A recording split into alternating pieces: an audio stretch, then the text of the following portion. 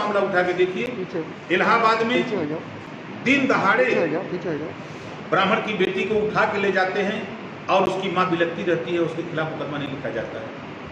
ले जाने वाला भी जो था उठाने वाला ले जा जो लड़की को उठाया जिस जाति का था उसी जाति का दरोगा था। उसी जाति का जो है सीईओ था।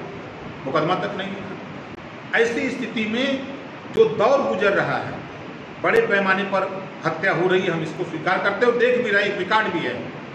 मुझे तो दुख है कि जो पिछड़े दलित अल्पसंख्यक के ऊपर अत्याचार तीन साल से हो रहे हैं सरकार में रह के देख रहा हूँ। लेकिन ये पिछड़े दलित अल्पसंख्यक समाज के लोग जग जाते और ब्राह्मण के साथ खड़े हो जाते तेरी भी हत्या हो रही है हमारी भी हत्या हो रही है हम सरकार को उखाड़ फेंकेंगे रहने नहीं देंगे।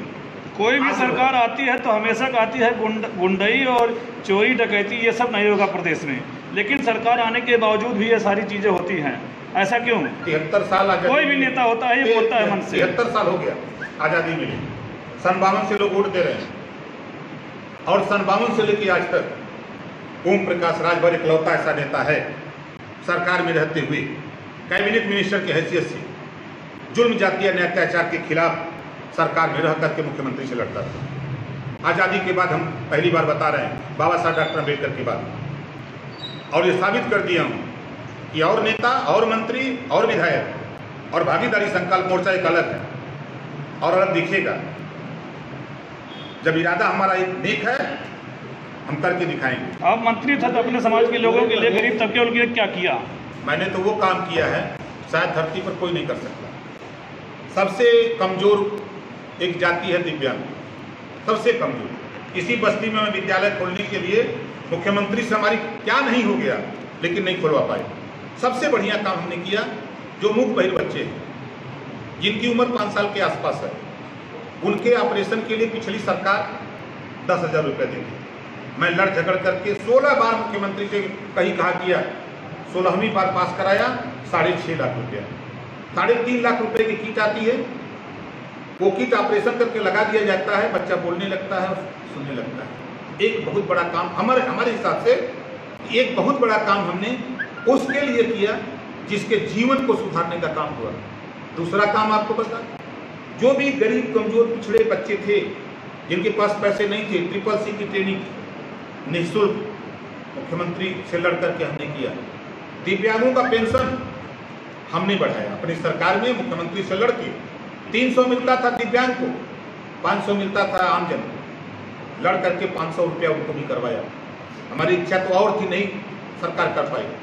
सरकार में रहते हुए पाँच सौ रुपया, पाँच सौ अट्ठानवे करोड़ रुपया छात्रवृत्ति शुल्क प्रतिपूर्ति का पैसा था। उसको ले आते ले आते हम दो हज़ार करोड़ कर दिए। हटते ही शुल्क प्रतिपूर्ति खत्म। छात्रवृत्ति का पैसा खाली रह गया शुल्क प्रतिपूर्ति का पैसा खत्म।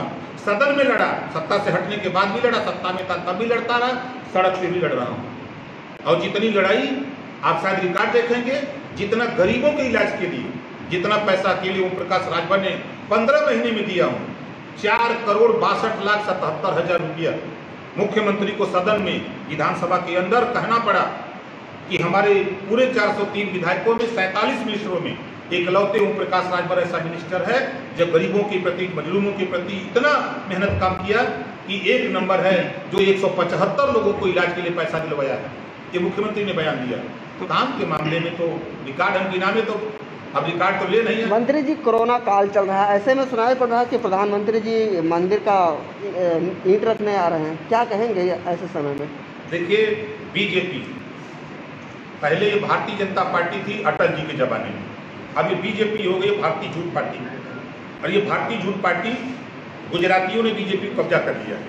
इनसे कोरोना से मतलब नहीं है। इनसे सरकार बनाने और बिगाड़ने से मतलब ये बहकाने के बड़े माहिर लोग हैं। अभी जो आ रहे हैं हम यहाँ ना, सबका दिमाग डाइवर्ट कर दिए चीन ने 20 जवानों को शहीद कर दिया, हमला कर दिया। ये बता रहे थे कि झड़प हो गई, झड़प में मरेगा। ये कहते हैं, प्रधानमंत्री का बयान आ रहा है कि हमारे किसी भी चौकी पर, किसी भी क्षेत्र में चीन का कब्जा नहीं है। फिर कब्जा नहीं है तो फिर हमला क्यों हो गया? आपने सेना क्यों लगा दिया? आपका बयान था प्रधानमंत्री का कि कोई हमारा सेना जो है, उन्हें चीन के कब्जे में नहीं है। दस रिहा कहाँ से कर दिया? और फिर आप ही लोगों के चैनल पे चला कि दो किलोमीटर चीन की सेना पीछे है इसका मतलब चीन में भारत घुस गया। ये बीजेपी भारतीय झूठ पार्टी है। ये जब चीन का मामला समाज में, देश में चलने लगा तो इससे दिमाग भटकाने के लिए ये लोग प्रधानमंत्री को ला रहे हैं उद्घाटन करने के लिए। अब तो प्रधानमंत्री जी से कहूँगा आपके माध्यम से कि प्रधानमंत्री जी, उत्तर प्रदेश में कोरोना से निपटने के लिए अस्पताल की ज़रूरत है। वेंटिलेटर की ज़रूरत है, मास्क की ज़रूरत है। आप कोरोना के बहाने गरीबों का पैसा लूट रहे हो। आप पचास रुपए का मास्क दे देते किसी को जो सड़क पे मिल रहा है। पचास रुपया दे करके उसको अल्टीमेटम देते कि अगली बार दिखाई दोगे तो तुझे पाँच सौ रुपया जुर्माना या तीन सौ रुपया लेंगे। तब ये समझदारी थी कि आप समाज का, देश के हित में चाहते हैं। लेकिन ये क्या कर रहे हैं? मास्क के नाम पे डकैती हो रही, दिन में डकैती हो रही है। और तो और, वेंटिलेटर घोटाला आपने देखा गुजरात में? आपने देखा वहाँ आपके जहाँ ये हिमाचल प्रदेश में, वहाँ का डायरेक्टर भाग भागा जो पीपी की घोटाला में ये रुपया इकट्ठा एक जज ने बयान दिया कि मुझे देश छोड़कर के चला जाना पड़ेगा। ये राम मंदिर के बहाने ये देश की जनता को ध्यान भटकाने के लिए ये काम कर रहे हैं। और कोई कुछ है नहीं। इस मंदिर के शिलान्यास कोरोना काल में क्या बिहार जैसे राज्य में जो गरीब राज्य कहा जाता है वहाँ चुनाव होना ज़रूरी है देखिए मैं फिर कह रहा हूँ कि आज देश को कोरोना से लड़ रहे हैं। प्रधानमंत्री को कोरोना से लड़ने के सिस्टम में सबको मदद करनी चाहिए।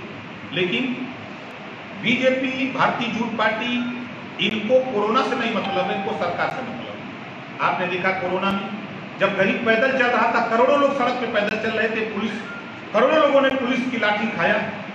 उस समय एक गिलास पानी देने के लिए उनके पास पैसा नहीं था। एक बोतल पानी देने के लिए पैसा नहीं था। ट्रेनों में लोग भूख से अस्सी लोग मर गए। उनके पास पैसा नहीं था। किराया दे करके लोग आ रहे थे। इनके पास पैसा, किराया फ्री में ले आने के लिए नहीं पैदल तीन सौ के ऊपर लोग मर गए। इनके पास भोजन नहीं लेकिन एक सौ चौवालीस करोड़ रुपया लगा करके, एक सौ चौवालीस करोड़ रुपया बहत्तर हज़ार एलईडी लगाया था। वर्चुअल रैली कर उस समय पैसा कहाँ से आ गया? जो ये प्रधानमंत्री केयर पीएम केयर फंड बनाए हैं, जब पहले से ही आपदा पीएम केयर फंड बना हुआ है तो आपने नया पीएम केयर फंड क्यों बनाया? ये लूटने के लिए बनाया। देश का पैसा लूटने के लिए। मोदी जी का भाषण था "रे- देश बिकने नहीं दूँगा। रेलवे बेच दिया, बैंक बेच दिया एल बेच दिया एयरपोर्ट बेच दिया। आपके कोयले की खदान बेच दिया तेईस विभाग बेच दिया बेचने जा रहे हैं। अब आपकी रोडवेज़ बिकेगा। आपके जो राजमार्ग हैं वो बिकने जा रहा है। पूरे देश को ये बेचने की तैयारी में है। इनसे देश से नहीं मतलब इनसे चुनाव से मतलब है कि चुनाव हो जाए हम सरकार बना लें। और मैं आपके बीच में कह रहा हूँ कि बिहार में हमारा भी मोर्चा जाएगा। और बीजेपी को वहाँ से निस्तनाबूद करके लोगों। को चुनाव होना चाहिए या टलना चाहिए? चुनाव करना चाहिए। नेशनल दस्तक की आपसे गुजारिश है कि अगर इसको बचाना चाहते हैं तो नेशनल दस्तक को सब्सक्राइब करने के लिए रेड कलर के सब्सक्राइब बटन को दबाएँ, फिर बेल आइकन की घंटी दबाएँ। नेशनल दस्तक को बचाने के लिए बहुत ज़रूरी है कि हर खबर को शेयर करें लाइक करें कमेंट ज़रूर करें।